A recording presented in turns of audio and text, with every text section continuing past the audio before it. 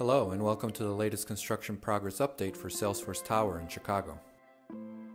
It's been a very productive winter for both the base building team and the Salesforce tenant improvement team.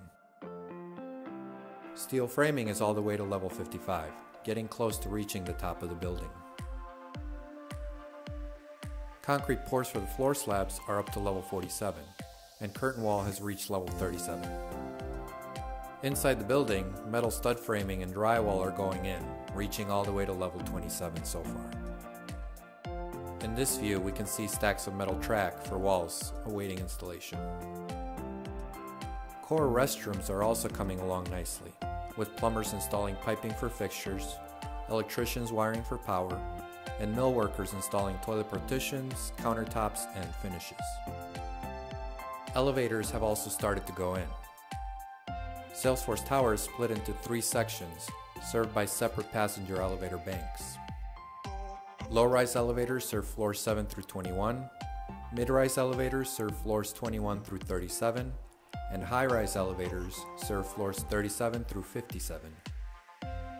At the moment, workers are installing elevator rails and frames for the low-rise and mid-rise elevator shafts.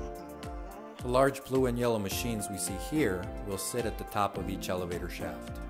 They spin to coil and uncoil the suspension cables that pull the elevators up and down along the rails in the shaft.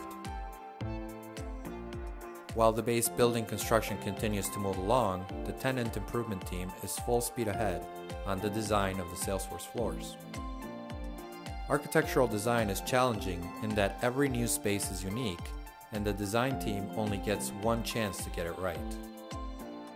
The team can use a variety of tools and techniques to ensure that there are no surprises once the contractor builds the space and Salesforce moves in.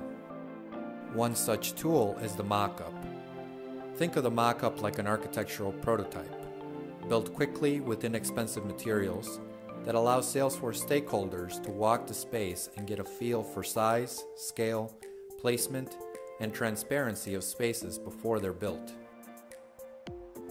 Foam board can represent walls, transparent plastic can represent glass, tape and paper cutouts on the floor can represent furniture and equipment, and black plastic wrap can represent AV displays. Stakeholders are invited to walk through the mock-ups and provide feedback for incorporation into the drawings. This way, the design is that much more refined and accurate when it comes time to actually build the space. This reduces the risk of expensive changes later on when the contractor is building out the tenant interiors. That concludes the site visit. Thank you for watching.